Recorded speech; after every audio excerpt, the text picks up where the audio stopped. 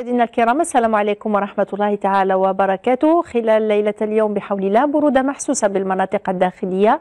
أما عن حالة السماء ليوم الغد بحول الله سيكون هناك ضباب محلي خلال الصباح الباكر على كل السواحل كذلك بشمال الصحراء والواحات. تتبع أجواء مشمسة على العموم مغاشة جزئية نحو المناطق الداخلية والهضاب العليا. أجواء مشمسة تماما بكافة مناطق الجنوب الكبير مع نشاط بعض الزوابع الرملية المحلية بالصحراء الوسطى وأقصى الجنوب درجة واحدة فقط ستسجل خلال ليلة اليوم بأغلب المرتفعات الداخلية كذلك بقسنطينة 7 إلى 8 درجات بسواحل 4 درجات كأدنى مقياس جنوبا ببشار أو 3 درجات بجانات 8 درجات بإليزي 7 درجات ببسكرة كذلك بورقلة 12 درجة بإنسلاح برج بجي مختار وإنجزام لترتفع إلى 13 درجة بتندوف.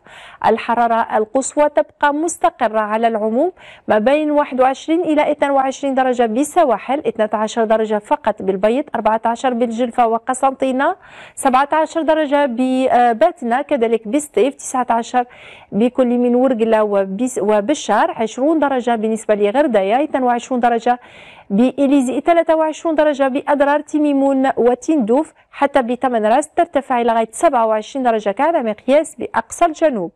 البحر خلال يوم الغد سيكون جميل إلى قليل الاضطراب على طول الشريط الساحلي رياح ضعيفة تماما تأتينا من غربية إلى شمالية غربية تدور إلى جنوبية غربية نحو السواحل الغربية. بالنسبة لوقت شروق الشمس صبيحة الغد على مستوى العاصمة وضواحيها سيكون في حدود الساعة 7 صباحا و59 دقيقة والغروب على الخامسة مساء و41 دقيقة مشاهدينا أشكركم على حسن المتابعة وإلى اللقاء.